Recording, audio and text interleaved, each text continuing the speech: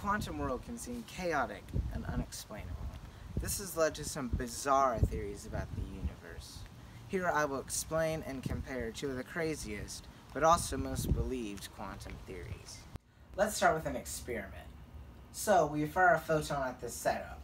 It can either go through one of the slits or hit the barrier. Those that do make it through hit a screen and make a mark. If we were to fire enough photons, we would start to see an unexpected pattern. This is called the interference pattern and is caused by photons acting not as particles, but as waves. Waves of probability. The wave travels to the barrier. Most gets deflected, but some makes it through, making two new waves. These waves then interact with each other, building each other up and canceling each other out, making areas of high and low probability.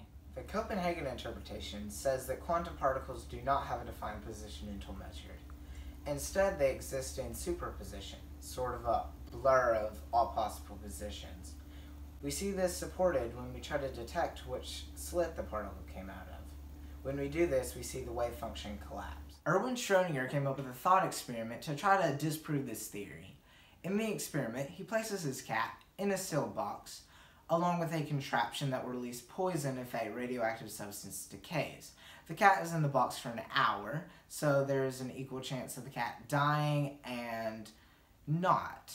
The unstable atom would be in superposition, both decayed and not decayed. And since the cat's fate relies on the atom state, is the cat also in superposition, or does it collapse its own wave function? The many worlds theory gets around this problem by saying that instead of the universe having to decide whether the cat is alive or dead, it just splits to accommodate every possible scenario. This would mean that there are near infinite number of alternate universes, one for every possible position, momentum, and spin for every single particle in the universe. This would mean that time is less linear and more like a tree, a branch for every single possible outcome of every single possible scenario. Every branch is as real as any other one, but they can't interact with each other. According to the Copenhagen interpretation, this coin is in all possible states at once, until I observe it. The many worlds theory would say that the universe would split to accommodate all possible outcomes. Unfortunately, we don't really know which one of these is right.